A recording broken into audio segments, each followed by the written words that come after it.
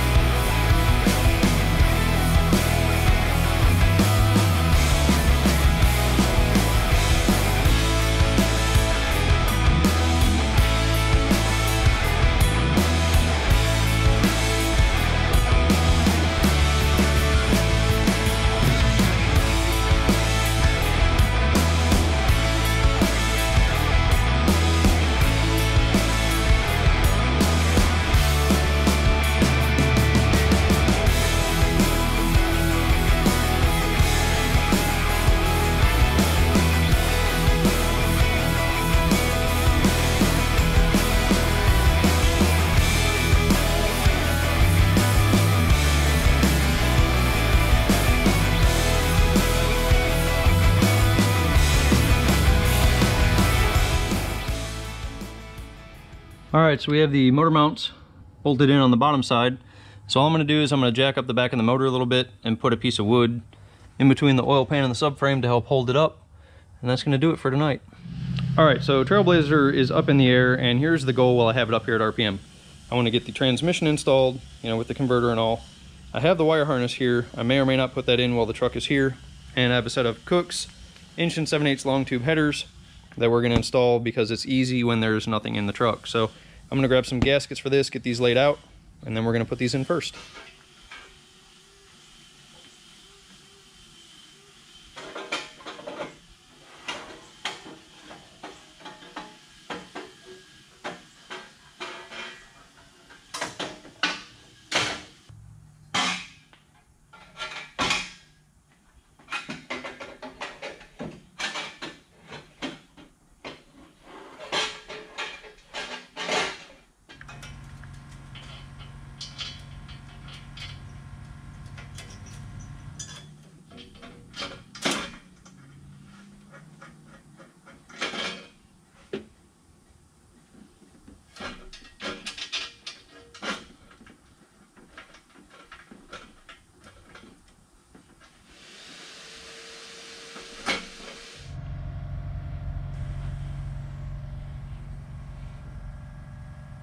All right, so the next step is to prep our trans to go in.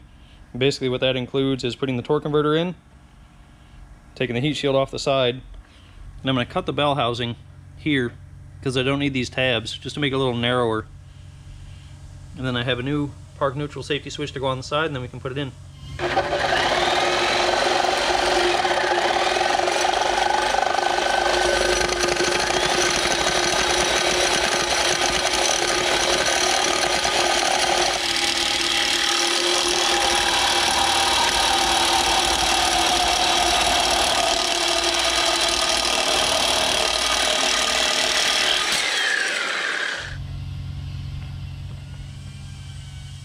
All right, so we have our, this is a Yank torque converter that's been restalled. I actually don't know what stall it is, but it is in the 4L80. And we have our conversion flex plate up here that came from Summit Racing. I believe it's an ATP.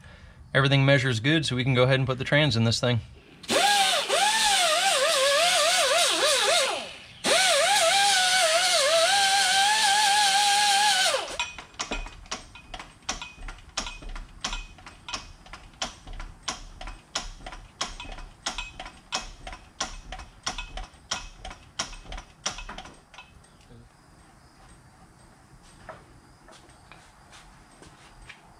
Like it should go.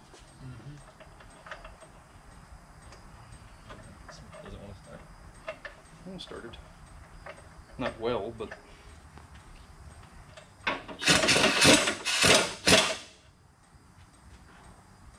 keep it still with this one. Go for it.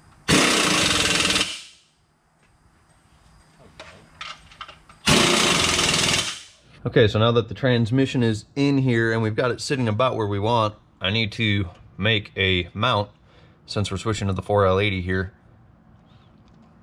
So what I'm gonna do first is see if I can space this down so that the rise on this doesn't have to be so tall. You can see it's a good amount of difference from where the stock one mounts. So I'm gonna go find some metal and start cutting stuff up. All right, we've got our mount spaced down a little bit. So what I'm gonna do is put a stiff knee under the trans so I can pull this back out and clean up where I'm gonna be welding to it so that I can actually build this in the truck. I'll tack everything in place, take the cross member down, and then weld everything solid. All right, so now that we have the mount space down, we've got our plate that is gonna bolt to the mount. What I need to do is cut a piece of metal that'll go here, and then we're gonna triangulate it a little bit. So I'm gonna take some measurements for this, cut that plate, and then we'll tack that into place and then make our triangles.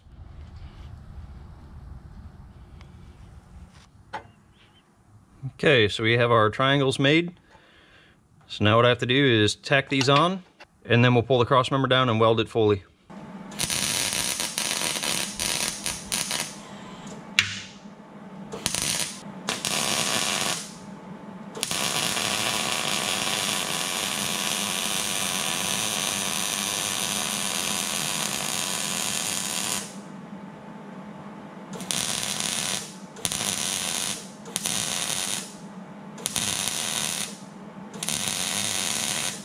Okay, so I will eventually paint this, but I'm gonna put it back in the truck like this for now so that I can get this thing back on the ground. All right, so now that the trans is installed, the engine's tight, I'm gonna get this thing ready to go back to my house. And that's gonna conclude this video. I just wanted to show you guys putting the motor in, getting the trans in, getting everything mounted. And like I said, now it's time for me to get to the house and really get to work. So I'm gonna clean up around here, get this thing on the trailer, head home. Don't forget, guys, always be sure that you follow me on Instagram. I try to post up there daily. Been posting a lot of stuff about this build. And stay tuned for more videos on the Trailblazer.